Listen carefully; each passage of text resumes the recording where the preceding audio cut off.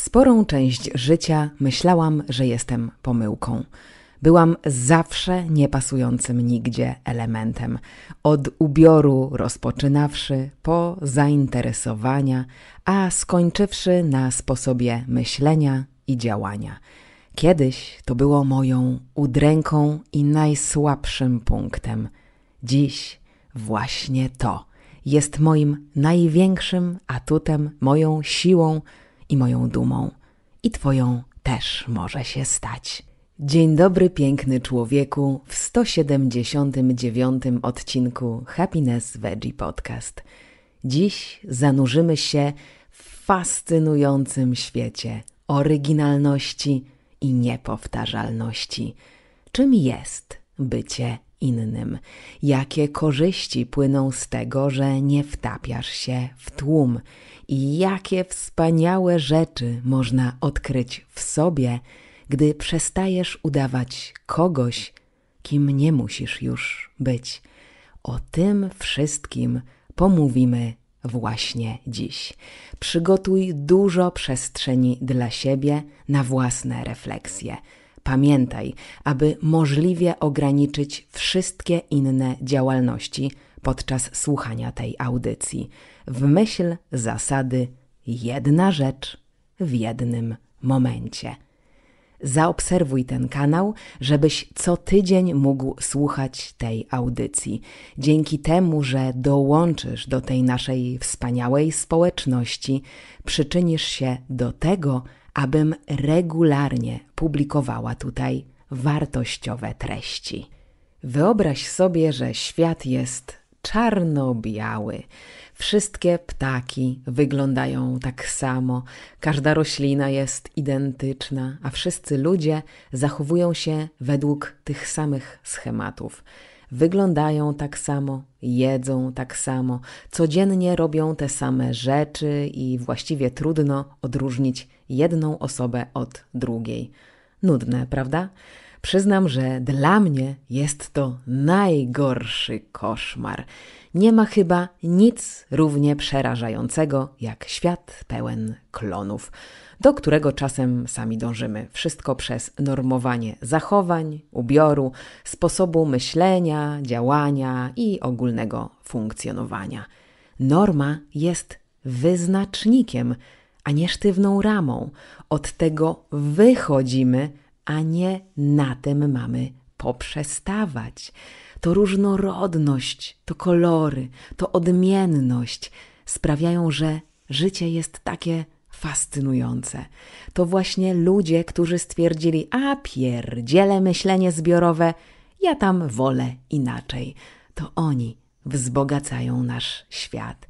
Gdyby nie oni, to mowy by nie było o tym, żeby poznawać inne kontynenty, żeby zbudowano kolej, nie wynaleziono by samochodu, telewizji, bajek czy filmów science fiction. Nikt by nie pisał książek, nie grałby na pianinie, nie występował w teatrze i malarstwo abstrakcyjne by nie istniało.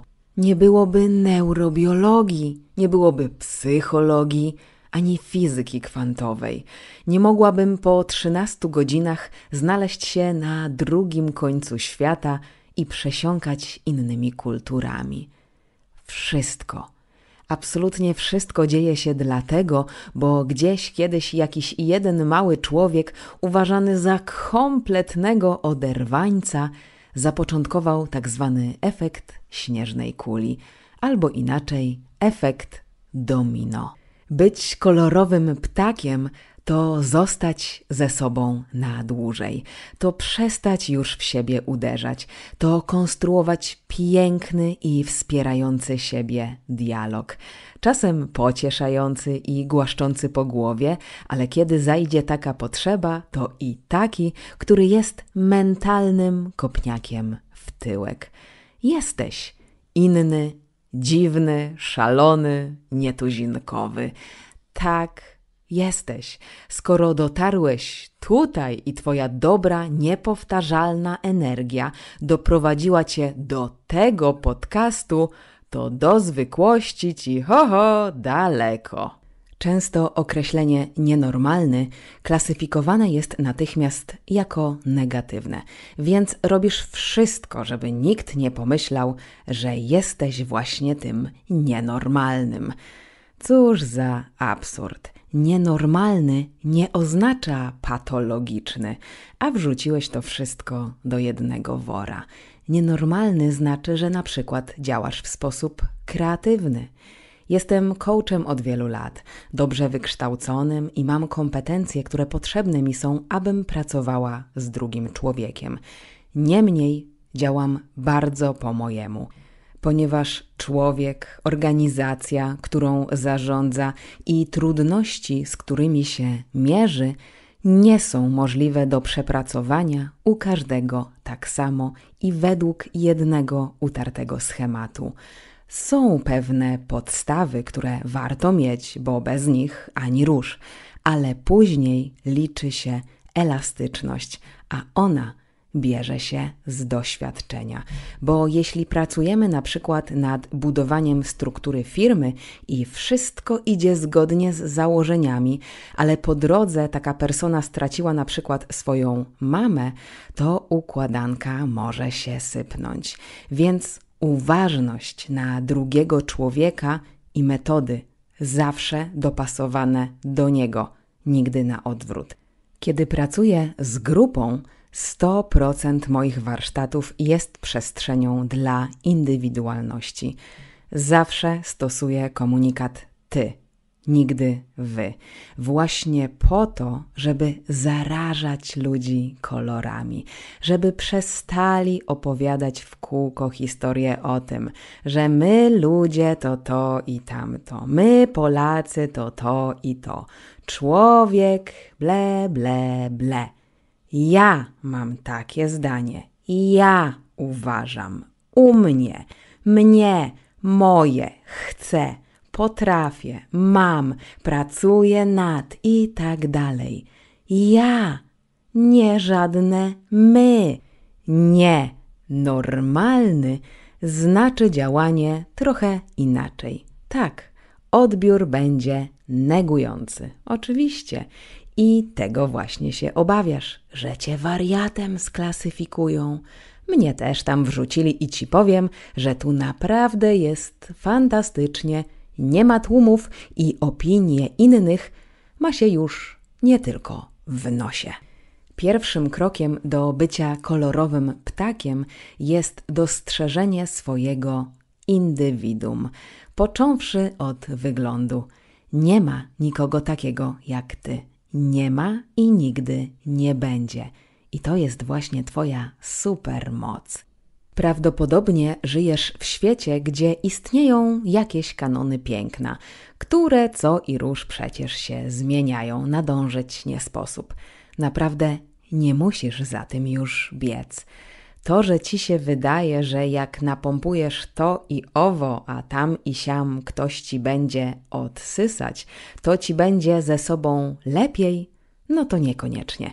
Praktyka pracy z ludźmi pokazuje mi dobitnie, że poczucia własnej wartości na samym wyglądzie nie zbudujesz, bowiem poczucie własnej wartości jest niespodzianka w głównej mierze wewnątrz. I jak jestem fanką dobrego, schludnego ubioru, tak też z dużą odpowiedzialnością ci powiem, że im większy napis na koszulce, tym większa pustka wewnątrz. To też w ogóle jest bardzo ciekawy temat w kontekście dobierania sobie ludzi wokół. I uwaga, naprawdę to jest mniej oczywiste niż się wydaje. Jeśli emanujesz swoim ciałem, jak myślisz, na co zwracają uwagę inni? Ha, no właśnie. A wiesz, że takie osoby mają pretensje do całego świata, że nikt nie docenia ich pięknej duszy? Niby jasne i oczywiste, a jednak Niekoniecznie. I powiedzmy taki facet, który przyjeżdża Ferrari i bajeruje nim wszystkich na prawo i lewo, zaskoczony, że traktują go jak bankomat. Noż eureka. Więc wygląd jest istotny, ale raczej chodzi o dbanie o niego, a nie o zmienianie go dla innych, pod innych lub, co gorsza, żeby być jak inni. To, co jest modne, wcale nie musi ci służyć. Weź to pod uwagę. Dla mnie jednak ważniejsze jest to, co wewnątrz, bowiem to, co w środku, oddziaływuje zawsze na to, co na powierzchni. Nie ma człowieka, który jest pewny siebie, a wygląda jakby nie był. I jednak zawsze ważniejsze jest, jak się czuje przy drugim człowieku, niż jak on właśnie wygląda. Mowa tutaj o urodzie czy szumnie nazwanej modzie. Mam takie swoje powiedzenie. Uwielbiam pięknych ludzi, ich wygląd jest mi przy tym obojętny. I to kultywuję od kiedy tylko sięgam pamięcią. Zwrócę teraz Twoją uwagę na istotną kwestię. Co myślisz o takim twierdzeniu? Pokorne ciele, dwie matki z sie. Daj sobie chwilę, aby to przemyśleć.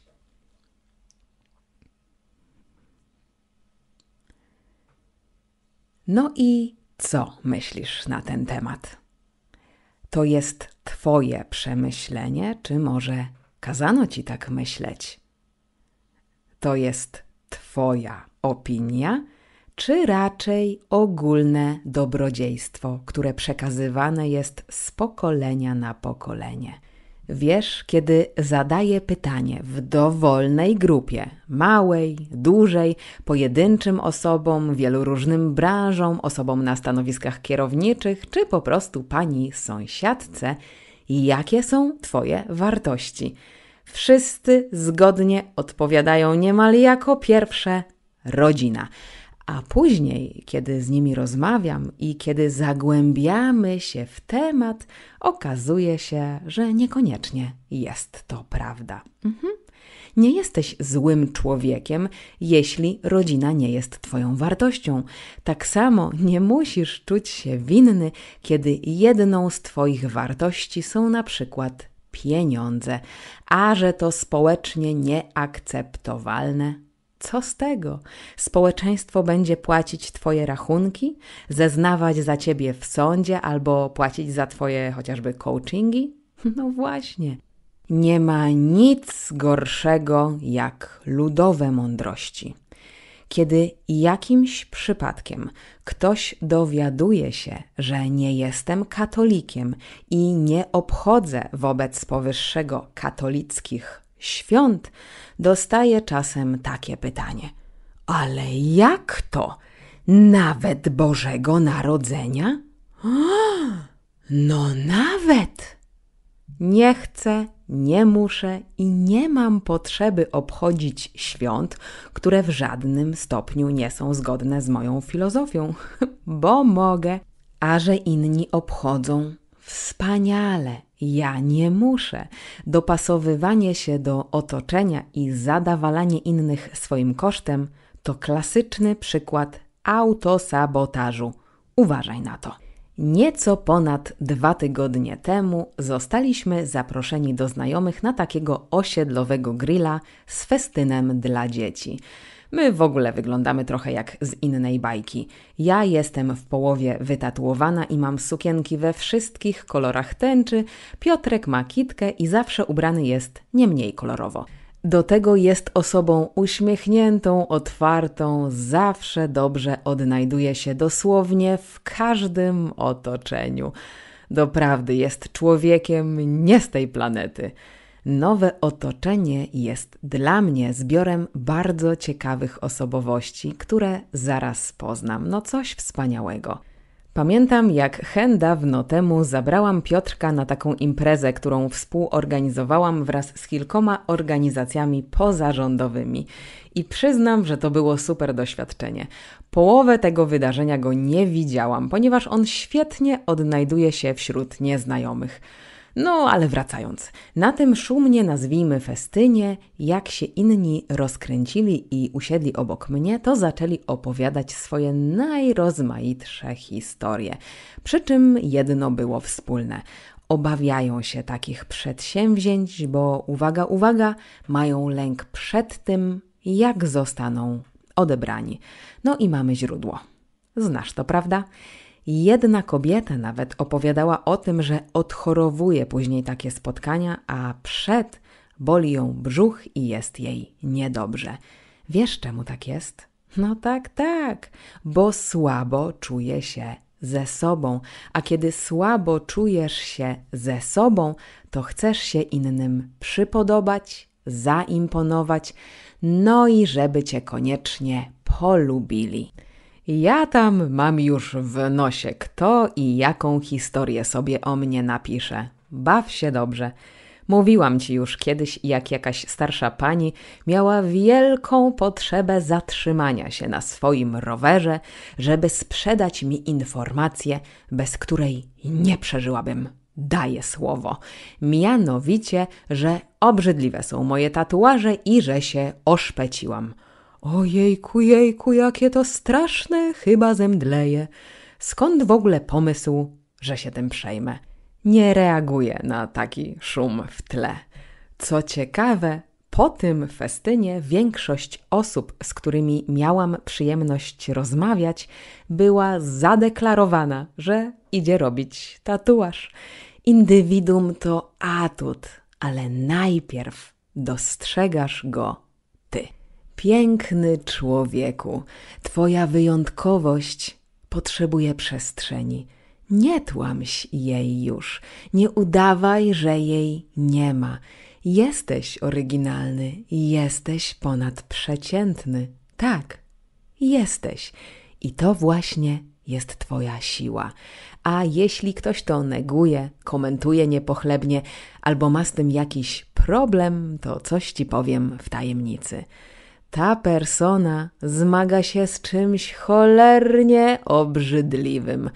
Osoby, które mają poukładane w głowie, a więc i w życiu, wiedzą, że bez tych wielobarwnych, pięknych ptaków nasz żywot byłby marny. Nie ma rozwoju bez oryginalnych pomysłów. A ponadprzeciętne myślenie ma to do siebie, że pierwotnie jest bojkotowane, bo chce nowe, ale jednak wolę stare, ale nowe chce, byle tylko nowe nie było i po staremu. Absurd? nie. Codzienność, z którą mam do czynienia pracując chociażby z firmami. Wszystko, cokolwiek robisz, wkładaj w to swoje serce, całego siebie a owoce, które będziesz w następstwie zbierać, nawet ciebie zadziwią. Kiedy już dostrzeżesz swoje indywidum, czas na odkrywanie swojej oryginalności. Nie bój się próbować nowych rzeczy, nawet jeśli wydają się one dziwne lub nietypowe, albo raczej bój się i eksperymentuj. Tak jak mówiłam na wstępie, Naprawdę sporą część życia podejrzewałam, że coś jest ze mną nie po kolei. Z tym, że wówczas moje indywidum nie było tak ogromnym powodem do dumy, jak ma to miejsce obecnie. Wszystko dlatego, że patrzyłam na to z innej perspektywy. Porównywałam się do innych osób wokół i chciałam być jak oni. Kończyło się to zawsze katastrofą kilkukrotnie nawet rangi spektakularnej. Teraz patrzę na to zupełnie inaczej i tego też uczę innych. Zawsze bardziej przykuje moją uwagę ktoś, kto robi nietuzinkowe rzeczy, niż ktoś, kto działa zachowawczo i odtwórczo. W nosie mam kogoś, kto mówi, do czego się przygotowuje, dużo bardziej ciekawi mnie, co już robi bądź zrobił. To właśnie te nietypowe zainteresowania i pasje czynią cię wyjątkowym. Często najbardziej inspirujące pomysły rodzą się z najbardziej niespodziewanych źródeł. Dlatego właśnie bywać, odwiedzać, smakować, doświadczać, robić błędy, najlepiej dużo, wyciągać swoje wnioski i podążać dalej. Choćby nie wiem co, podążać dalej. Stanie się nietuzinkowym wymaga odwagi i determinacji. Nie wszyscy muszą Cię lubić, a Twoja droga może być pełna wyzwań, ale pamiętaj, że to właśnie Twoja odmienność jest Twoją siłą.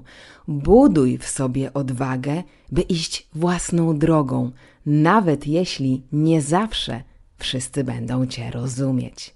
Oto pięć argumentów, dlaczego warto być innym. Po pierwsze, kreatywność i innowacyjność. Oryginalność często prowadzi do nowych twórczych pomysłów. Wielkie wynalazki i dzieła sztuki powstały dzięki ludziom, którzy myśleli inaczej. Po drugie, prawdziwa autentyczność. Bycie sobą to najwspanialsza forma wolności. Nie musisz już nikogo udawać i nie musisz się dostosowywać.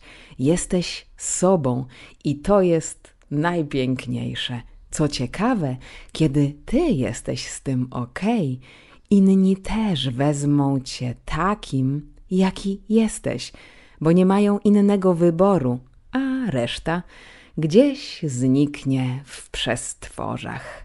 Po trzecie, lepsze relacje. Ludzie przyciągają autentyczność. Twoja prawdziwa osobowość przyciągnie do ciebie ludzi, którzy cię naprawdę zaakceptują i to z całym inwentarzem. Po czwarte, rozwój osobisty.